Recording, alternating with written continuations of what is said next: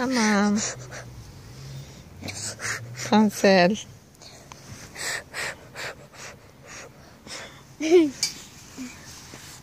Attın mı? Evet. Hadi biraz da bisiklet sür.